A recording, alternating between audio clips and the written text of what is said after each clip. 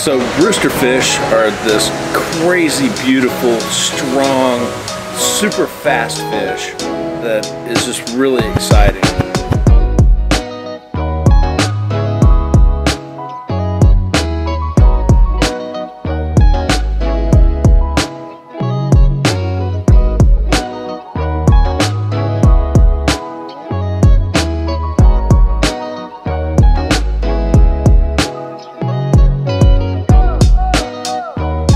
Go up to a spot and you don't even know that they're around.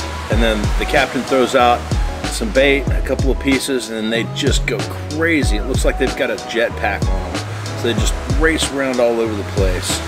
And uh, it seems like almost an impossible task to get them to take a fly until it finally happens. And then they come up and it almost is like it's in slow motion, although they're going super, super fast.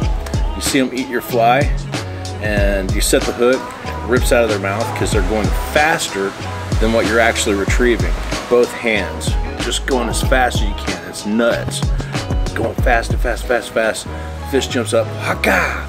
You gotta wait until they turn. If you wait until they turn and then set the hook, you'll get them. But if you set the hook whenever they grab it, no good. And then the fight's on. So you see the fish eat it at the top of the water, haka! And then that's the last you're gonna see that fish for about 45 minutes because they bury their head straight down and they go away. And it is quite impressive. Um, a 40 pound rooster uh, will, will take you deep into your backing multiple times, multiple times. And they are just going straight down and as deep as they can get. So um, they're, they're, they're a good fish. It's a good sport fish. If you've never done it, highly recommend it.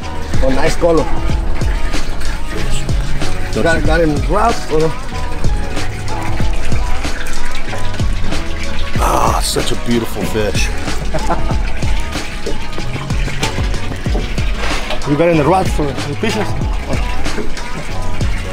If excitement is on your bucket list, and uh, if you want to catch one of these beautiful animals with the dorsal fins that stick up, looks like Freddy Krueger is ripping his arm out of their back, um, man, come come and come and experience it. It's great.